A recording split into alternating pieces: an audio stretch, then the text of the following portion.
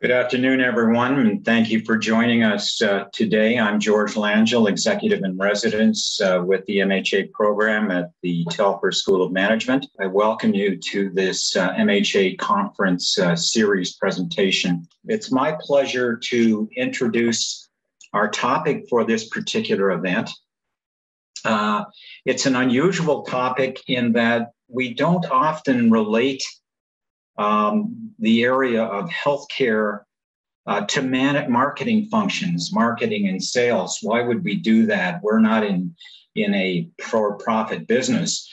But I think you would all agree that increasingly the environment is such that with diminishing uh, revenues, with the importance of, uh, of the contributions of our community uh, to our healthcare infrastructure and our research, that it becomes so very important that we apply marketing functions and techniques uh, to our various healthcare organizations in order to properly position them. In although we talk about a collaborative systems orientation to healthcare, there is an element of positioning, of branding that is becoming um, very important as organizations move forward with our renewed healthcare system. We already have a considerable amount and growing amount of private enterprise within healthcare. I know as Canadians, we don't always want to admit that, but uh, we do have a very uh, large and growing sector uh, of private healthcare, which employs uh, marketing techniques as of now. And it's only a matter of time as the public sector um, uh, and the private sector merge that uh, we will see uh, the application of marketing techniques. So we're very fortunate uh, within that phenomenon to have two people today from the uh, Ottawa Hospital Foundation who are very expert in this transition that we're seeing uh, in our healthcare system and with marketing and fundraising. Uh, first of all, we have uh, Tim Kluke. Uh, Tim is the president and CEO of the Ottawa Hospital Foundation, uh, and it supports uh, obviously Canada's largest, uh, one of Canada's largest acute care hospitals. the, the foundation that he runs is consistently benchmarked as one of the most efficient and effective healthcare foundations in the nation, having received the Association for Healthcare Philanthropy's high performer status for the past eight consecutive years. Over the more than 30 years, uh, Tim has, uh, has had as a certified fundraising executive, um, he has held a variety of senior positions within organizations in the charitable sector on both sides of the 49th parallel. So he's experienced both the US and the Canadian health systems. Before joining the foundation in 2011, Tim was the president and CEO of the Royal Ottawa Foundation for Mental Health. He is a past president of the Association of Fundraising Professionals, the Ottawa chapter, and past faculty member of the Association for Healthcare Philanthropies Madison Institute in Madison, Wisconsin. In 2015, he was named the Outstanding Fundraising Professional in the Ottawa chapter of AFP, the highest professional recognition this organization bestows. And today, he is leading the most ambitious fundraising campaign in the history of Eastern Ontario. The campaign to create tomorrow will help build a new campus of the Ottawa Hospital, fund world leading healthcare research, and bring to Ottawa the most advanced patient centered hospital in the country. Quite a task. And it would only be given to a gentleman from the Valley, Tim is a resident of Renfrew, where he was born and raised, ventured out, but came back as many of our uh, good healthcare professionals do. So, Tim, thank you for, for joining us today. And I know that with you, we have Daniel Knox. Uh, Daniel, I don't know that will be directly involved in the presentation, but he will be assisting Tim in the Q&A section. Uh, Danielle is uh, Daniel is the director of campaign and executive office um, of the Ottawa Hospital Foundation. And after nearly two decades working in charitable organizations in the Greater Toronto Area, Daniel returned to his hometown of Ottawa in 2018. He's thrilled to have the opportunity to lead the Ottawa Hospital Foundation's campaign office while supporting the CEO and senior team as the executive office lead. He has uh, nearly 20 years experience as a fundraiser and nonprofit leader, including several years focused on successful hospital campaigns with the Sunnybrook Foundation, William Osler Systems Foundation, Health System Foundation, and research campaigns with the Heart and Stroke Foundation and the Crohn's and Colitis Canada. After discovering his passion for the charitable sector, Daniel completed the fundraising management program at Ryerson University in 2004. As a volunteer, he has served as secretary treasurer and Gallo co-chair for Canada's largest LGBTQ plus festival, as well as board member and sponsorship lead for Toronto's Pan American Food Festival. So I think you would agree with me.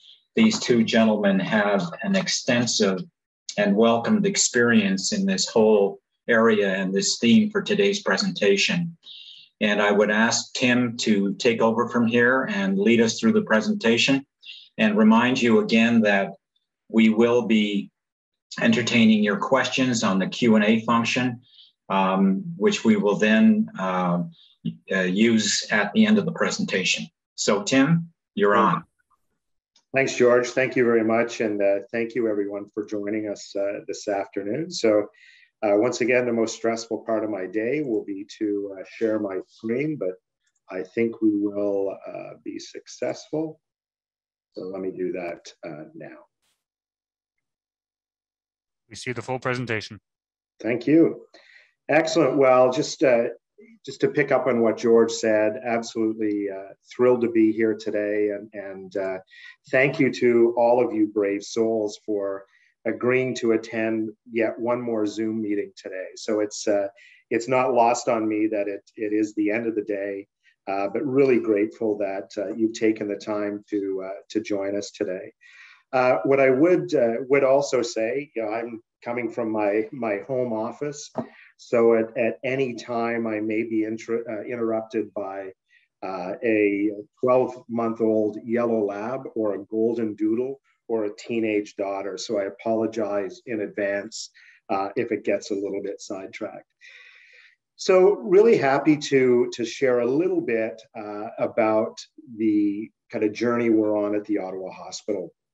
And as George mentioned, uh, in Canada, in particularly, you don't necessarily think of branding and marketing when you talk about our healthcare system. But what I'd like to share this afternoon is kind of our approach that we took at the Ottawa Hospital a number of years ago and how that was in the marketing sphere, how that was a precursor to us launching in the next uh, few months uh, our largest and most significant healthcare infrastructure project in our lifetime. So it is uh, indeed an exciting, exciting time for us. And I, I would be remiss if I didn't uh, acknowledge George Langille. Uh, George, as many of you may know, is a former CEO of the Royal Ottawa uh, Healthcare Group and was a real pioneer in mental health leadership, uh, not only in Ottawa, but across the country and, and very, very active and a big part of, of why uh, the Royal is positioned the way it is today. So I want to acknowledge uh, the time as well that I, I spent with George uh, when he was the CEO of the Royal. So again, it's my pleasure to walk through uh, today's presentation and I look forward to your questions and comments at the end. So for those of you that, that aren't necessarily uh, situated in Ottawa, I wanted to give you a sense of the size and scope of, of the Ottawa Hospital.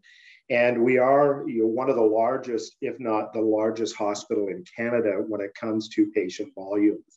And when we think of Eastern Ontario, significant uh, uh, footprint uh, coverage for our care, over 1.3 million people. And we are a hub for many of the, the tertiary specialty care that happens within our region. And on the screen, you'll see a few of those, whether it's our cancer center, uh, or say neuroscience program and other key regional specialty services. Uh, the Ottawa Hospital, and, and one of the areas and reasons that we market as well is we're not well known from a research perspective. And if we look at the rankings of the Ottawa Hospital Research Institute, depending on the year, depending on which grants come in and the timing, we will be either the third or the fifth largest research institute in Canada. And, you know, usually second only to uh, Sick Kids in Toronto and the University Health Network. And then we'll toggle between Hamilton and McGill. So, you know, great, uh, great city of Ottawa and a real commitment to research. And I think we uh, punch well above our weight in terms of, of research. And I would say also, you know, a leader, emerging leader in the area of technology and innovation. And we have a very strong innovation platform that those of you locally will begin to hear about, hear more about uh, over the course of the next number of months as we, uh, we plan to move forward with a major investment uh, in this area. So, you know, I started uh, in this business 30 years ago and, and started in kind of a bit of a non-traditional way, but I, I joined a consulting company out of the US uh, who just focused solely on capital campaigns. And I remember at that time, you know, very committed to kind of old school fundraising. And, and we always said that uh, fanfare and marketing doesn't raise money. And, you know, here I am 30 years later talking about the importance of marketing as it relates to transformative philanthropy. And as we sat back at the Ottawa Hospital and it again reflected on, on the, the type and kinds of communication that's happening uh, with our largest hospital. Yeah, we kind of had a, a website that, that is kind of out of date on old technology. Uh, and we were quite responsive. You know, we were focusing more on maybe government relations, internal communications, crisis communications, putting fires out rather than, you know, uh, making the ground fertile for for when those uh, those downtimes come. So as a foundation, uh, this was really born with a change of staff, and Dr. Jack Kitts and I looked at the opportunity to invest in in two leaders. You know, one leader that would bring marketing expertise and another leader that would focus on, say, internal communications, crisis communications, and, and government relations. So, as a foundation, we hired a VP marketing who would have overall responsibility of marketing the Ottawa Hospital in the community. And, and so we made that, uh, that commitment to beginning the work of building and establishing a brand presence in the Ottawa community. And as I, I, say on the screen, it really started with that alignment between the hospital and the foundation and you know me as the CEO of the foundation and Dr. Kitts as the CEO of the hospital. And I, I say here, you know, hospitals have traditionally been very poor marketers. And those of you in healthcare administration know that budgets are increasingly tight. And uh, departments like your communications and public relations uh, are usually squeezed. And the notion of investing uh, dollars that could be going to, towards patient, patient care in communication and marketing, it just really traditionally has not happened. And you've seen kind of nationally where other foundations, say foundations like Sick Kids in Toronto, where their foundation plays a major role in marketing uh, care and research and positioning uh, sick kids in the community. So let me begin by talking a little bit about philanthropy and you know, you might ask yourself, well, why philanthropy? You know, healthcare in Canada is uh, is funded by our tax dollars, and and that's what I'm paying for. And what I would say is is what you're paying for is the standard of care. Absolutely, the funding from the province provides uh, that standard of care that that institutions strive for. But I believe the role philanthropy can play is to take that care to another level to allow institutions to invest in the, in the latest and greatest technology, allow institutions to invest in, in new equipment, innovative equipment, uh, and to support research and education, because traditionally those areas are not supported by, by the ministry.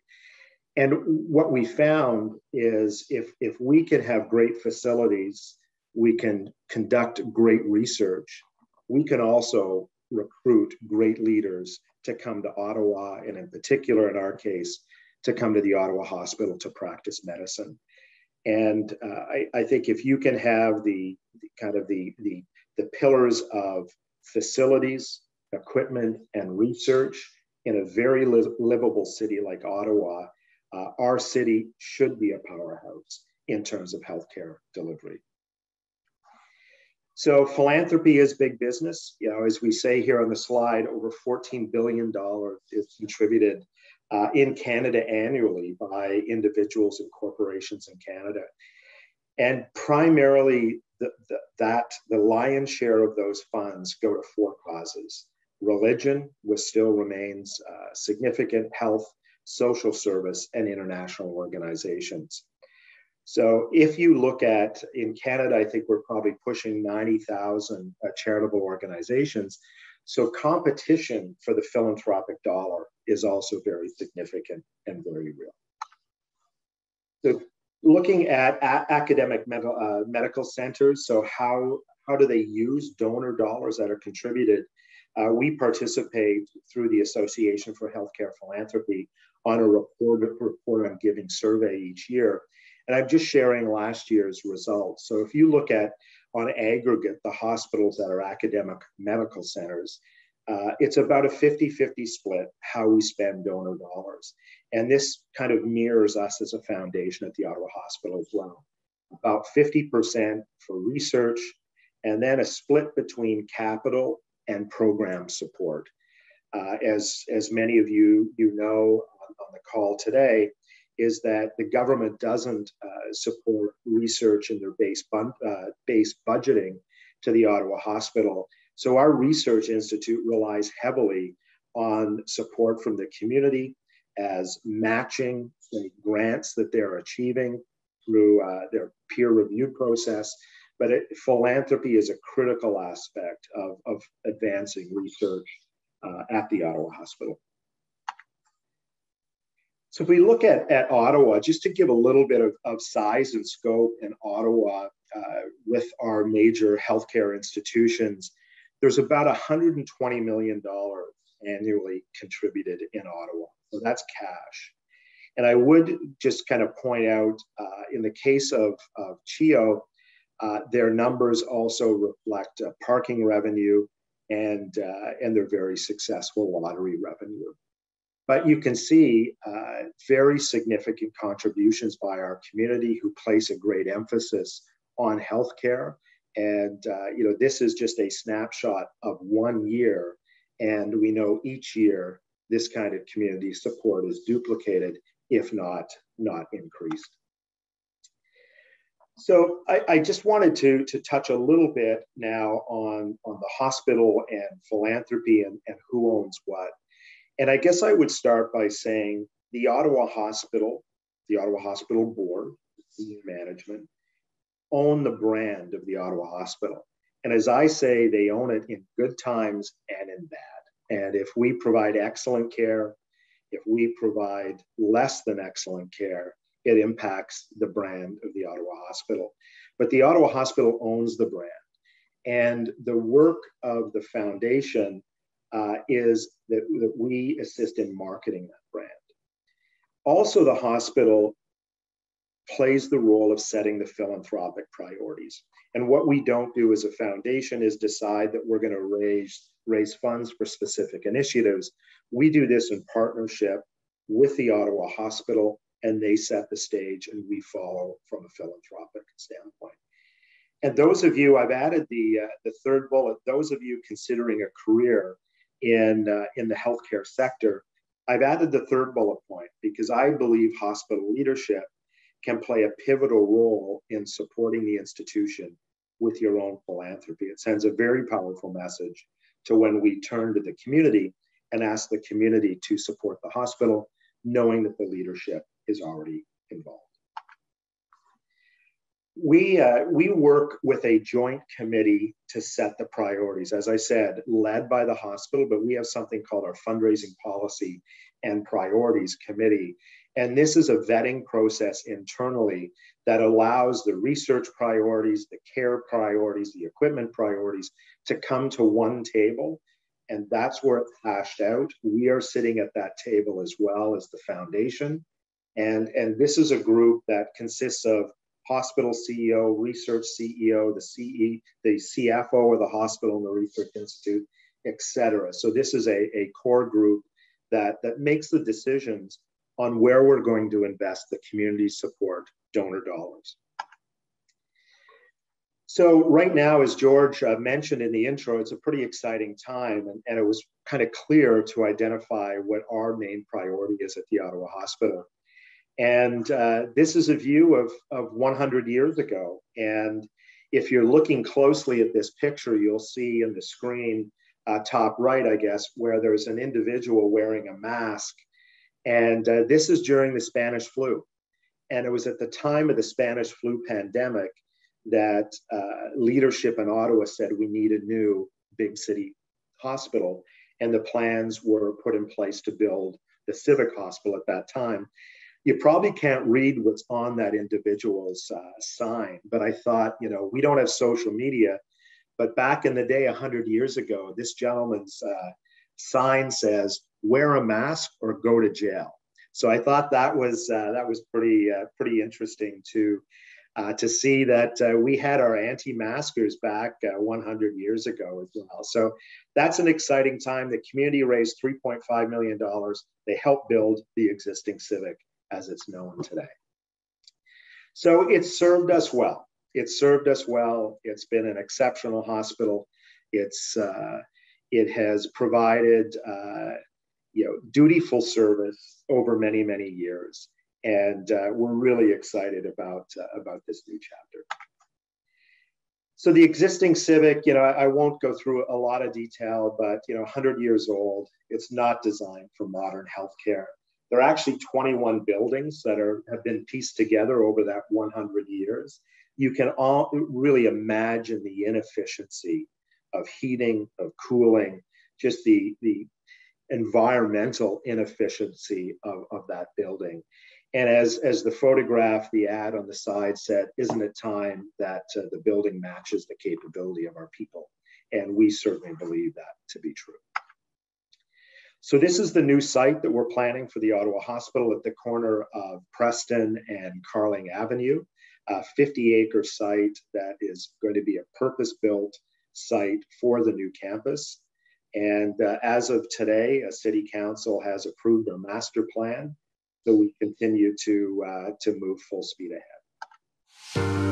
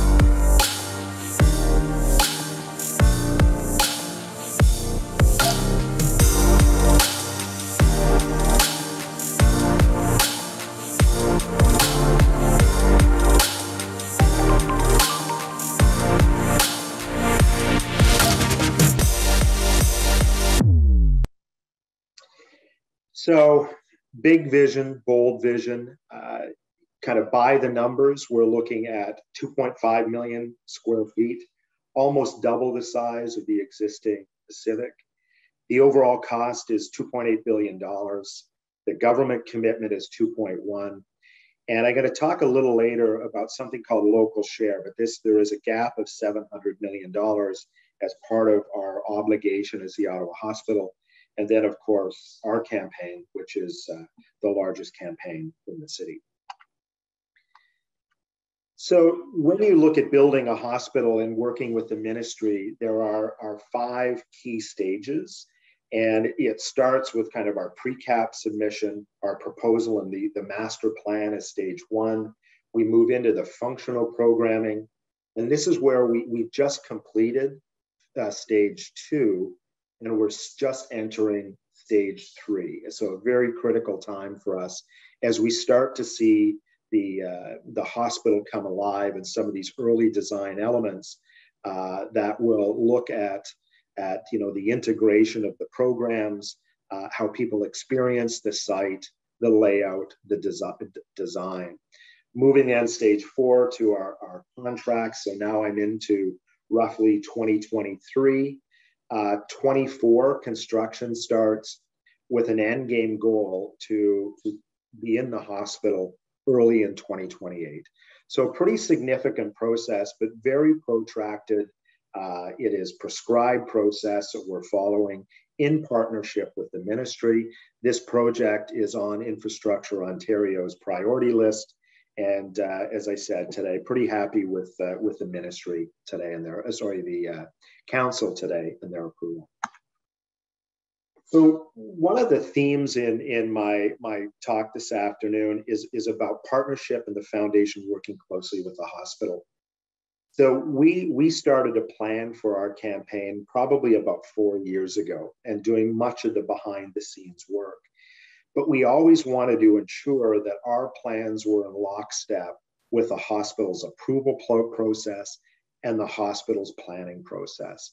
So as we walk through what is what is a fundraising campaign timeline, you know, we recruited our chair back in 2000 and uh, just before uh, sort of 2018, 19, and began to recruit our executive for the campaign just as uh, as the pandemic hit in 2020. And our plan is then to launch publicly this coming spring. So we have been in what's called uh, the quiet phase of fundraising now for a couple of years and, uh, and going you know, exceptionally well and very pleased with the, uh, the community's response. But again, our planning mirrors that of the hospital. So again, by the numbers, but speaking about, about what's called local share. There's a gap between the cost and, and what the government will fund. So essentially, there are elements of a new hospital build that is 100% government. Things like planning, design, financing, some of the, the financing costs associated with that.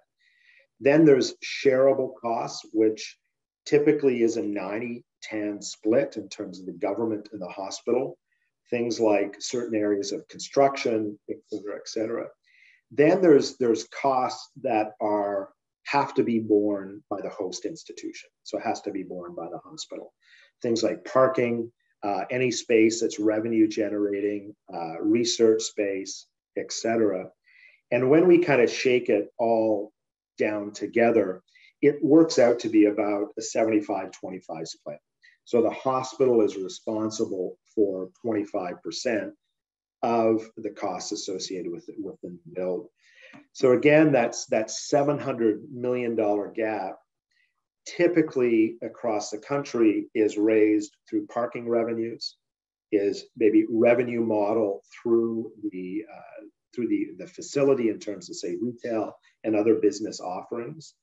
Uh, philanthropy and fundraising is a critical aspect. And then usually there's a, a, contribution of some kind by the municipalities. And that's been the experience across, uh, across the country. And then, of course, there's a financing element that the hospital would, uh, would, would enter into uh, to kind of close, close the gap. So we then said, given this kind of bold vision, how are we going to achieve this as a foundation? And we recognized at the time that, that while you know, the Ottawa Hospital uh, was respected in the community, uh, but we felt it needed to be repositioned. You know, those of you that are from Ottawa recognize that people don't really know what makes up the Ottawa Hospital. Does it include Queensway Carleton? Does it include Montfort? So we uh, we endeavored then to, to kind of build a marketing team within the foundation, and we started to, to hire and build up marketing expertise within our team, and uh, and developed our multi-year multi-year plan. so the first thing, and this is kind of the obviously the marketing segment of, of what I want to talk about, but we we started by engaging stakeholders, uh, did some surveying, et cetera, to to understand how we're going to position the brand in the community. And this, what you're seeing on the screen, isn't something that that was is public facing, but it was kind of our internal planning to to really understand how we're going to position the organization and to reflect how we want to be perceived in the community. And this would be the basis to give uh, direction to our creative development, to all of our marketing and communications. And if you can see in the outer ring, the ready, reaching, and there for you. To this day today, when we tell a story in the community, any of our patient stories, any of our stories that feature physicians, we always drive them back to this positioning. Are they emphasizing that we're reaching, we're there for you, uh, or that uh, we're ready to, re- you know, to receive the most challenging cases? So we, we, we developed a, uh, a five-year marketing plan that, that was developed by our VP marketing, Fiona Charlton, and her team. And it was presented uh, to our foundation board 100% funded by our foundation board. And I, I want to emphasize the foundation may be leading this, but we're not marketing the foundation. We only market the Ottawa Hospital. 99% of the cases, the foundation, the, the it's only the hospital logo that appears. So we are not marketing our foundation, we're marketing uh, the brand of the Ottawa Hospital. So we are in year four of a five-year plan and, and really started to, again, refine our position, increase our brand equity in the community, and then lead into how can this help us increase revenue and raise more money. So these are the kind of five key pillars that we built. We focused initially on doing some of the basics, getting the basics right. Uh, so improving our current capabilities, we then worked with the hospital, the hospital board, foundation board, and we launched a new brand and then launched an integrated marketing campaign.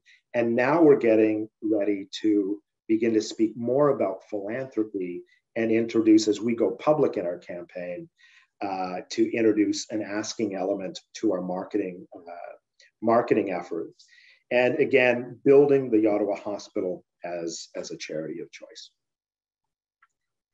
So this is a really busy slide. You, you won't be able to see it from your vantage point, but I wanted to emphasize that all of those brand attributes that we developed in the early days of our research, we continue to test against. So this, uh, this one slide is a result of the Ipsos Reid work that uh, they were engaged to do for us. We did it initially in 2017 18, and then again, uh, we did it in 2021. And what's great to see is we can measure the impact that we're making. So while the words are hard to follow, if you look at the blue dots, so blue dots represent our most recent survey, we have moved almost all of the, uh, the brand attributes of the Ottawa Hospital. And some some significantly you know moving 10 points on attracting the brightest and most capable doctors in the world to come to, to come to ottawa is a leader in research is another critical thing. I opened up by saying a lot of people didn't understand the ottawa hospital is, is invested in research. So while we're marketing it's not marketing for marketing's sake we measure what we market uh, it's a key part of what we do and we use outside sources like Ipsos, and we're just getting ready again to go back, uh, back to market.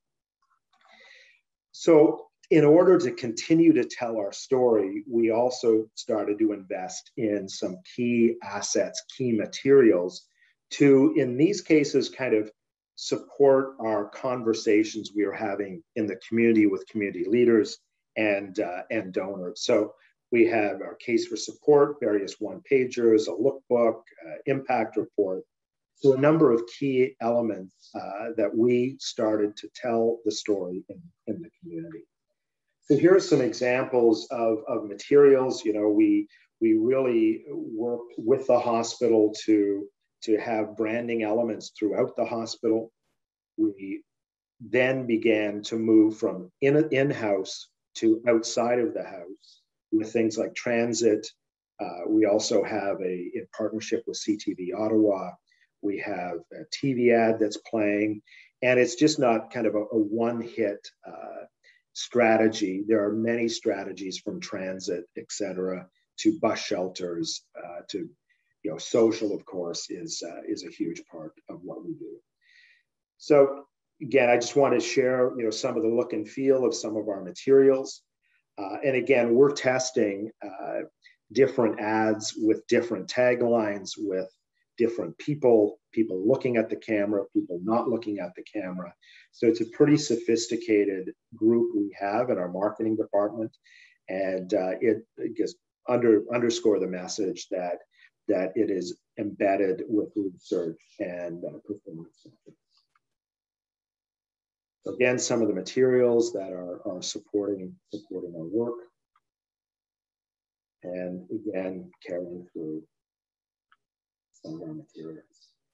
So, you know, I just want to just take a couple moments and, and, and pause to, to recap a little bit is that, you know, we, we felt as an organization that we needed to ensure the message of the Ottawa Hospital was out into the community that allowed us the opportunity to follow it with solid uh, fundraising messaging. And we believed that not only the expertise wasn't there, but the kind of marketing spend that was required to really move the needle. Uh, we felt that's the leadership we would take from the Ottawa Hospital Foundation. And you know, I've shared some of the results to date of um, of kind of that public perception of the Ottawa Hospital.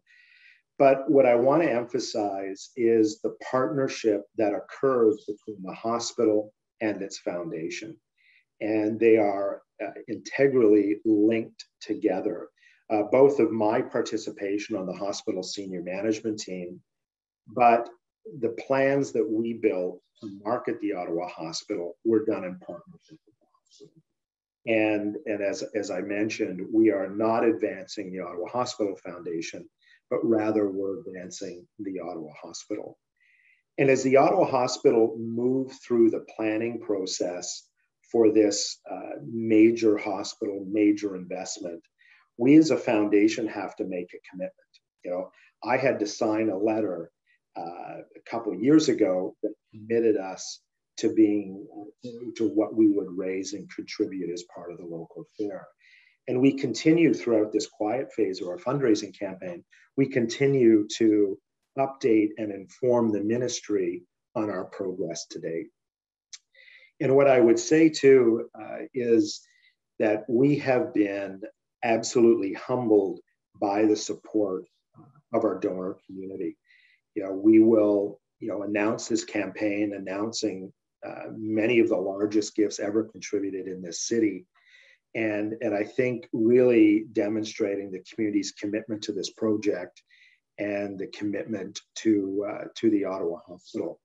So we've uh, things are going well, and uh, you know the hospital is well aware of our plans as we work uh, in close collaboration. So George, maybe I will stop there, and uh, I'll stop sharing my uh, my screen if I can figure out where I do that. There we go. Thanks so much, Tim. That was uh, that was great. Thanks for sharing that information. Um, I know it uh, is generating a lot of interest in our community. And the community that I'm involved with academically, um, I think, you know, has every opportunity to take full advantage of this once in a lifetime experience in terms of uh, healthcare marketing and, and leadership that you and your team are exhibiting. Um, we do have, uh, from our registration, we have um, one question, but before we do that, I just again urge our participants uh, to use the Q&A function to provide us with uh, questions that we can ask both Tim and Daniel uh, that are of interest to you. But the question we've had that came in with the registration is as follows. If hospitals actively solicit and rely on donations, isn't, isn't this a way for provincial governments to abdicate their responsibilities? Taxes are supposed to pay for hospitals. That's why long term care facilities have been a disaster. Because eons ago, our elder care was quietly moved out of a hospital like, hospice like care. So that uh, obviously uh, is one of the sentiments I'm sure that you've come across in, in a variety of, uh, of your uh, ventures. So, how do you respond to something like that? I think I would go back to, and, and it comes up, it comes up infrequently, typically. Now, I'm probably speaking to the converted because I generally talk with our donors. Uh, so people who are grateful and see the impact that their donations are making.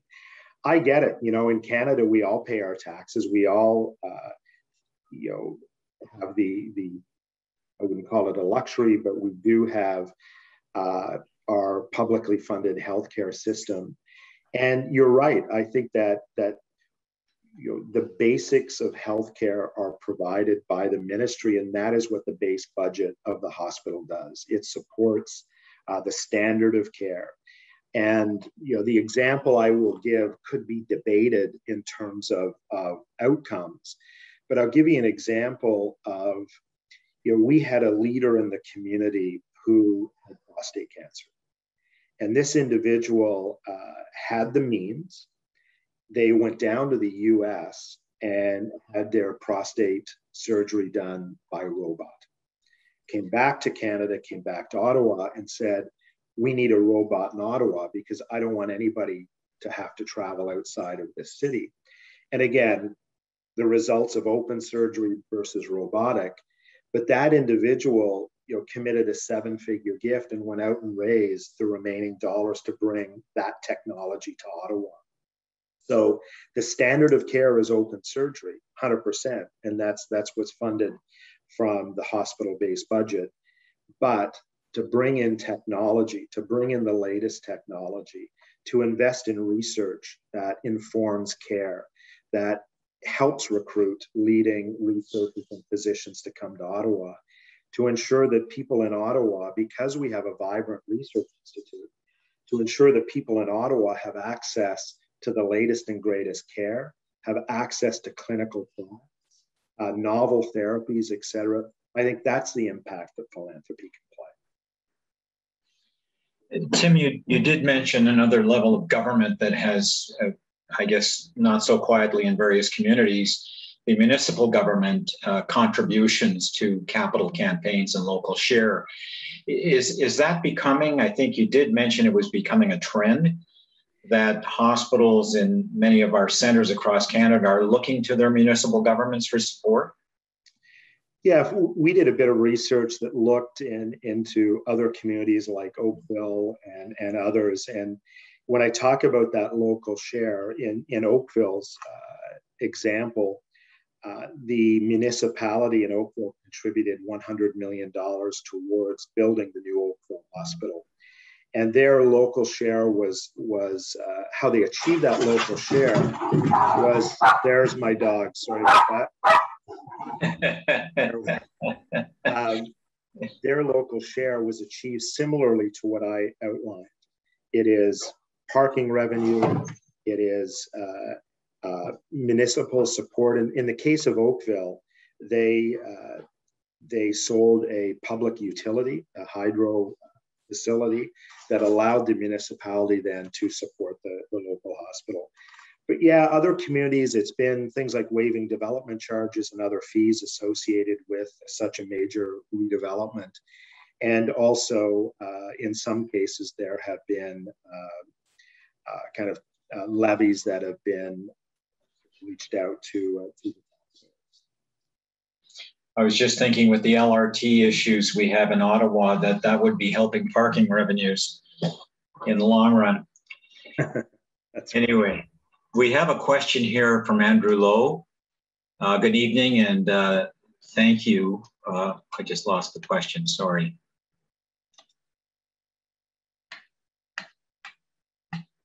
Yes, um, Andrew is saying good evening and thank you very much for taking your time when you were referring to philanthropy revenue from the community, is that mainly from grassroots or large donors? And how does the breakdown compare with Toronto, for example? Yeah, so I think, you know, a great, great question. Um, you know, we're very blessed at the Ottawa Hospital where we, you know, we have about 80,000 contributions to the hospital each year, and all are, are super meaningful, whether it's through our direct mail program or through events or through t- telemarketing. And uh, but if you look at typically large hospital-based foundations, and you take our our example, the lion's share of funds that we raised are, are typically of say gifts of ten thousand dollars or greater, that will will make up uh, the lion's share of contributions. So I would say it, it is larger contributions where, where we're working with families and individuals who want to make a real difference with their philanthropy, have a great connection to cause, and are looking at, at making a tremendous impact. So that's where we really spend a great deal of our time in working uh, with those families and individuals. And it is, I should add, George, it is also the most effective way to raise and the most cost effective. And one of the reasons why we are so efficient as a charity is we're focused in that area. We do fewer events. Uh, you know, we, we really don't do many special events just because of the return on investment is, is not high. Daniel? Uh, yes, and I'll just add to that, Tim, um, just in terms of numbers, because uh, some, some of the attendees may be interested in that. Uh, when we began planning in earnest in 2018 um, for our campaign and, and how that would be playing out over the next several years, um, our forecasting accounts for about 70% of what we raise is likely to come from major gifts, as Tim said, $10,000 plus. Another 20%, um, mostly because we're also a hospital and very fortunate to be the recipient of, of them, is, is planned gifts. So typically gifts left in estates. Um, hospitals, religious charities, and, uh, and animal-based charities typically do the best amongst um, uh, being recipient of, of, planned gifts, and then about 10% from the community, so through events or annual fund. Um, our focus during this quiet phase has primarily been on those top level donations, but once we launch our campaign publicly, uh, we will focus more on, on a community-based campaign and ensuring that you know the $100 donation is extremely important as well in, in terms of getting us towards our goal. We have another question here. Um, congratulations on a successful campaign to date. Uh, what is the investment made by the foundation into brand and marketing as a percentage of your campaign goal? And given the hospital owns the brand, did they contribute to the development of the brand financially? And why or why not? So I guess there's two questions in there. Uh, the first one on the percentage of, of the branding and marketing exercise in terms of uh, I, I suppose getting at that expense threshold, how much do you spend to uh, get a dollar? So I would I would say our our marketing budget is in multiple millions. Um, that includes people and direct uh, marketing expense, such as ad placement and, and uh, material development, new website, all of all of those t- tools. So I would, you know, I don't have the number in front of me. I would say over the five-year plan, it's it's in the neighborhood of five million dollars.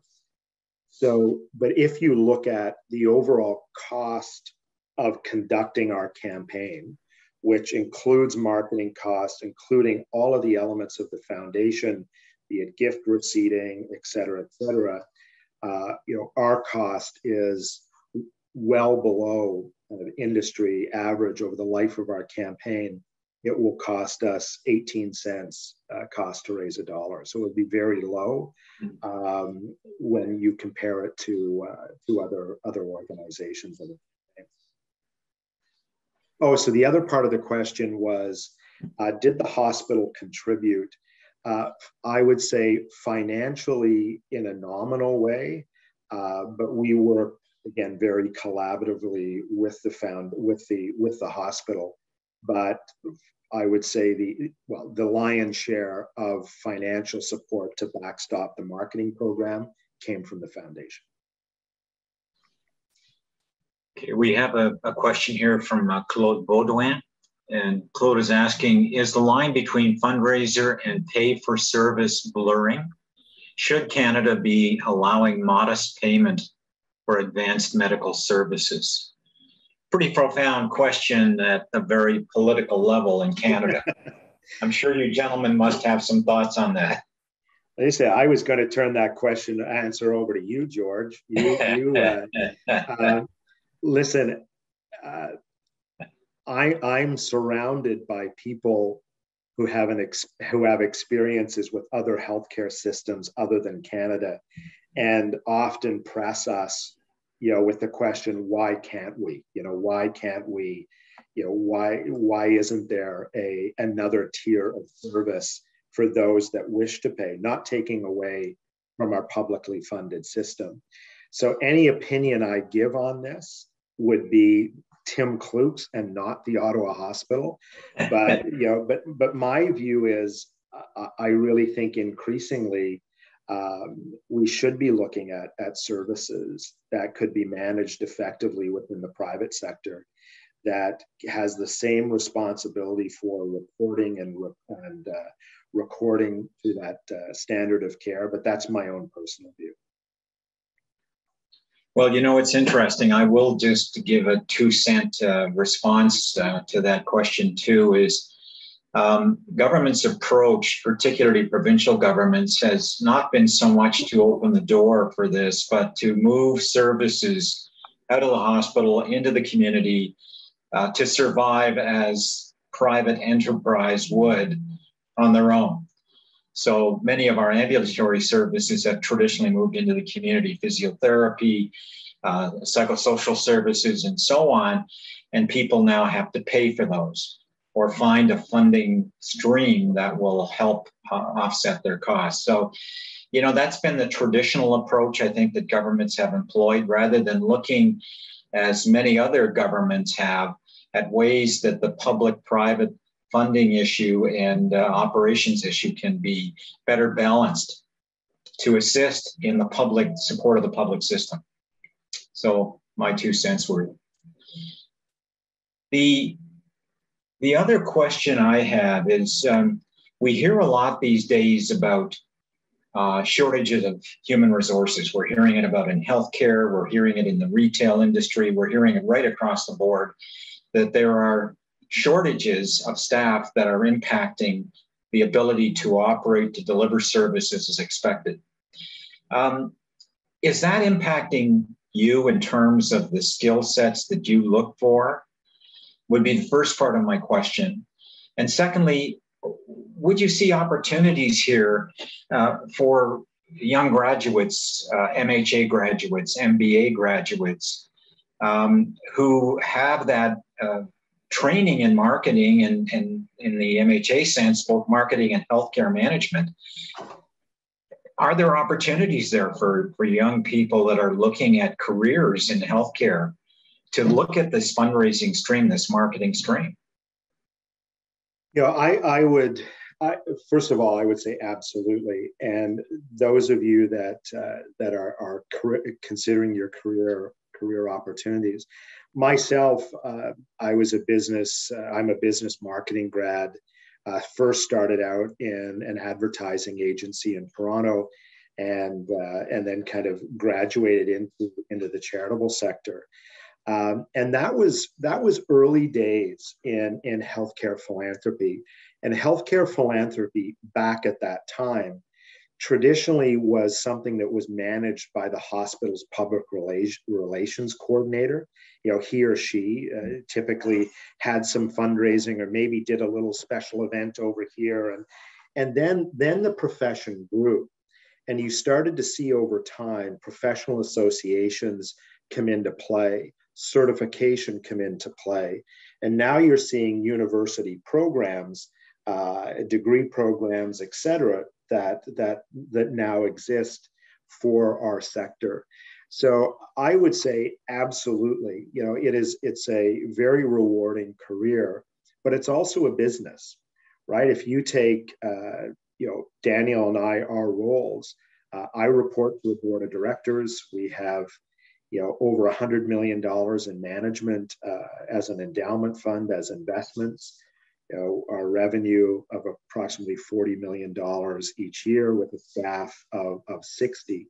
So it is a business, you know, and, and we are governed by a board of directors, uh, most of whom are senior business leaders and expect their foundations to be run like a business. So it's a tremendous opportunity to kind of flex your business muscles, but also, uh, you know, kind of have that pride of association with causes that are meaningful to you.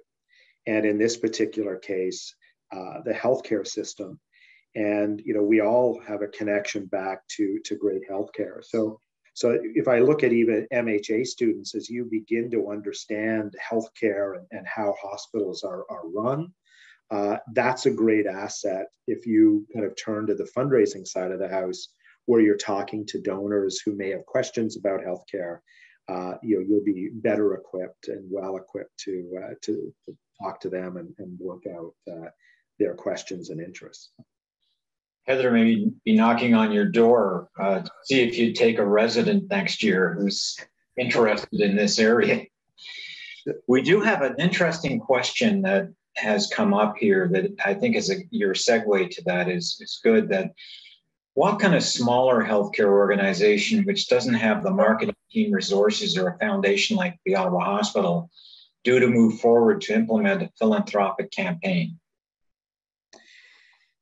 Yeah, so you know, if if I was out meeting with a, a smaller organization or a small town hospital that's that's looking at uh, um, at at developing a fundraising program, I think where I would start would be developing kind of your case for support, you know, your raison d'etre, uh, pr- creating a document that kind of outlines what your vision is and, and, and then articulates the impact that the community will have should they choose to, to support you. Then I would look at, at uh, you know, and, and I would I would take advantage of organizations like the Association of Fundraising Professionals or the Association of Healthcare Professionals, and even participate in their mentorship program. So, kind of create that buddy to have a seasoned executive who could come back and maybe uh, on a volunteer basis provide you with counsel. But it would start with developing your case, your messaging, uh, clearly articulating why you need support from the community, and then look at the opportunities to fundraise and what makes sense to you. You know many smaller organizations have a tendency to conduct special events because it's kind of easy it's what uh, what the community will engage in and it, it, doesn't require a lot of sophistication in terms of support systems to uh, to support it. But i think that's where i would start. Uh, i would also start by enlisting a core group of volunteers who are passionate about the cause and uh, and invite them to uh, to help you either by their own contributions, their own gifts, and then in, then in turn asking them if they'd be willing to go out and meet with with viewers with within their natural network. Uh, so while we talk about major gifts and and uh, how we raise the bulk of our money, organizations can do that on a smaller scale by attracting great volunteers, asking for their support, and asking them to help open the doors to three individuals. That's where I would start. Good. Daniel, with your extensive experience with a variety of organizations, do you have anything to add to that? Uh, I would just echo what Tim says. Um, you know, starting out on a on a smaller scale, and and also being honest with with some of your senior leaders, volunteers, and donors that you know you need to get something going. And you know, perhaps in the first couple of years, you might spend a little more than you'd expected to on either building your brand or doing some marketing or, or taking a chance on a new program. And that can be the hardest thing to do. Uh, wasn't in my bio, but I've worked for a um, a community organization that was always struggling for funding. And, you know, there were big decisions to be made uh, in spending any donor dollars, but making the case for how that how that spend can translate into larger donor dollars in the future um, is really something to be mindful of in dealing with, particularly with boards of directors who are, you know, uh, cautious with the finances. Thank you. Tim, I guess it begs the issue too. Um, are you the gorilla in the room? I mean, when it comes to, to fundraising these smaller organizations, even some of the hospitals, for example, other than CHEO, where you, put up the data on that. Um, and, and if you are, how do you deal with that? Or do you? So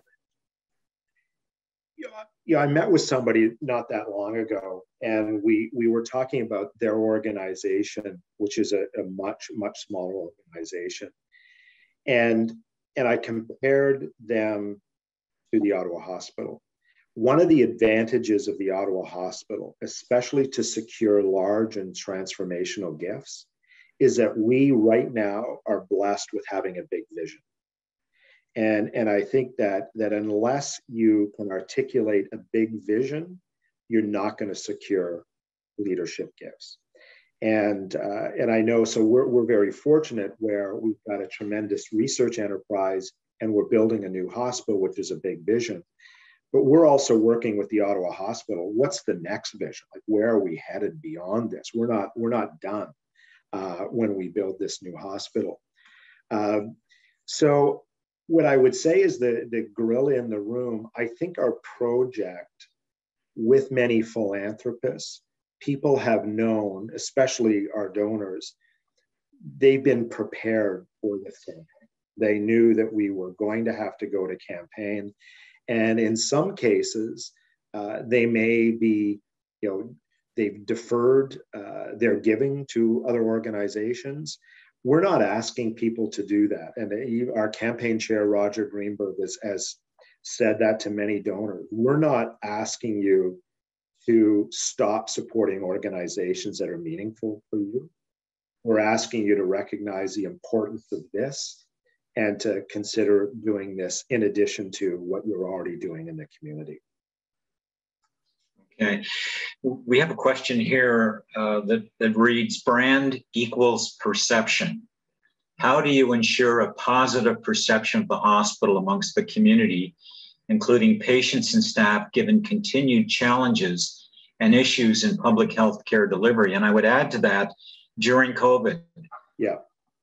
So one of our one of our risks on the foundation's risk register is the the impact of shrinking services during COVID. You know, people, the inability of people to access services that have been restricted during COVID. It's a real, it's a real risk. And, and I would agree with, with the, the individual asked the question. We can run ads all day long that won't make a difference if we're not delivering quality care and, and people are having a positive patient experience full stop. And, and that's why I said at the start of the presentation, the Ottawa Hospital owns the brand, good and bad. And, and you know, it, it's, you know, your brand can be tarnished, uh, you know, by, you know, a, a, an experience in care, uh, a lack of access to services. Those are all will will impact significantly how you're perceived or believed to be in the community. Uh, and and again, it, it's core, right? It's fundamental. It's it's like you know you buy a pair of Nike running shoes, you expect that they're going to be of a certain standard, and if they're not, uh, you know that's you don't believe in their brand anymore. So you mentioned partnership being very, very important. And central to the hospital's mission is, is research, teaching and research. So you've got the university, you've got community colleges that are big contributors and affiliated with the Ottawa Hospital and other hospitals as teaching hospitals. How does the foundation structure those partnerships to ensure not only your compatibility with the mission of the hospital, but that obviously from a research point of view, there's compatibility with the university, with the medical faculty, with the health sciences faculties of the community colleges, who are also fundamentally looking at research, and in the case of the colleges, applied research. So how do you how do you deal with that partnership? So I would say it's a work in progress. Um, but kind of our position at the Ottawa Hospital Foundation is the relationship with the university and the other partners needs to come from the host institution. So the leadership of the Ottawa Hospital uh, and the partners that you mentioned need to be working kind of collaboratively at the top, and we'll follow.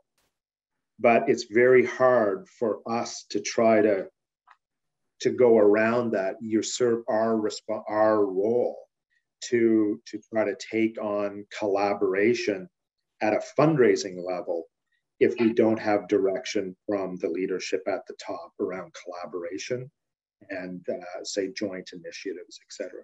Does that answer your question, George? I, I think so, but you know, again, the organization, let's take the University of Ottawa, which is affiliated with the Ottawa Hospital. They have their own foundation. In fact, I believe there's a fundraising arm of the medical faculty and the health sciences faculties. Uh, there seems to be, you know, a lot of different streams going after what fundamentally would be the same dollar. Yeah. I just I'm curious about what sort of cross fertilization, even sharing of information, uh, to try to lead to at least um, you know a common approach, like you mentioned with the neurosciences. Yeah. yeah. Um, so you know we do reach out as a foundation to our peers at those institutions and and there are conversations that's that's happening.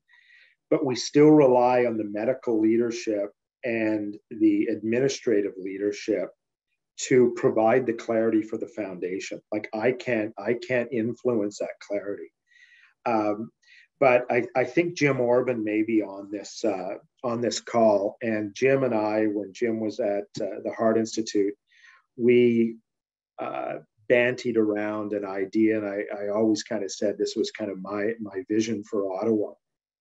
But maybe to your point, George, wouldn't it be wonderful if institutions in the city of Ottawa, including um, in including the the the medicine faculty, that if we collaborated on establishing the philanthropic priorities of this community, that would have us focused on making Ottawa the best uh, healthcare city in the country. That you know it should and therefore you know it's not who gets to the donor first right? And you have your institutional kind of pet priorities but if we could ever stand back as a city to say what's going to make this city great and you know, the example i used was if we need a 7 tesla mri at the royal for brain imaging that's what this city needs well then let's get behind that and and make Ottawa the best. So I, I would love to see more joint planning, in particular, so that philanthropists know they're having the greatest impact in their city, not just at one institution.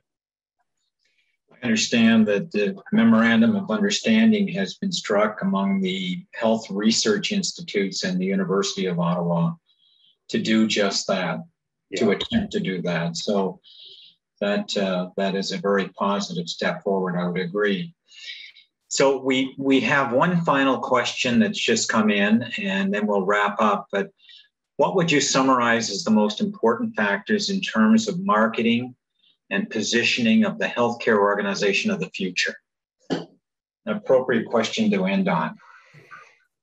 Yeah, I, I think it is. It is.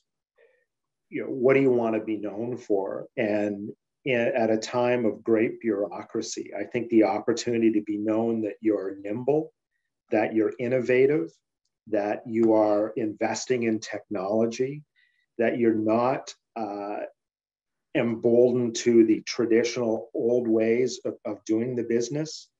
And, and you look at the impact of COVID and uh, all of the outpatient visits that are happening on Zoom calls and Teams calls, where you have people who, you know, don't have to frail elderly leave their home, get a get a, a drive into the city and stress about parking and and come to a hospital for a routine visit or a, or a check-in with a specialist. So I think I think we've we've forced the system to change a little bit. I know our vision for the new campus of the Ottawa Hospital. It's not about having everybody come to that campus. It's also about how do we ensure that people can get care outside of the hospital where they need it, where where care makes most sense to them. So I think I would I would focus on on innovation. I'd focus on technology. I would focus on treating patients uh, where they live and what is convenient for them, uh, rather than just take a siloed institutional approach. Daniel, any any final words from your vantage point in, in respect to that question? Uh, I think I would just add to what Tim said in terms of, you know, what what sets you apart, and connecting that with with stories of real people and patients. Because we're looking at it from a philanthropic perspective, people give to people, um, not necessarily to a building. So that's what we've really tried to do, is connect all of our great news about technology, innovation, and research back to how that that impacts the people in our community. Well, on that note, um, let me thank both of you for being a part of this presentation, a very vital part of it, the center uh, of it, and for the sharing that you did today. Um, I know that the students in the audience will benefit greatly from this perspective and the competencies that are evolving in your area of marketing applications and fundraising. Uh, in some ways, today you remind me of uh, William Shatner. that uh, Captain what, spaced out, George. no, that you're venturing into new frontiers. Yeah, and you really are. And I want to thank both of you again, uh, not just for this, but for all the work you do to really uh, enhance our community to make this a better community, an improved community in terms of the delivery of healthcare. And so, on that note, uh, I wish both of you well. I, I thank you sincerely for being part of this. And, you know, who knows? Maybe there's a room in the MHA curriculum for something along these lines of marketing in healthcare yep. as the system changes. So, thank you to both Excellent. of you. Really enjoyed it thank you all. Appreciate uh, everyone for joining us today. Yeah, thank you to everyone who joined us, and thank you for the Telfer team who uh, put this together. Very much appreciated. Everybody have a great evening. Thank you.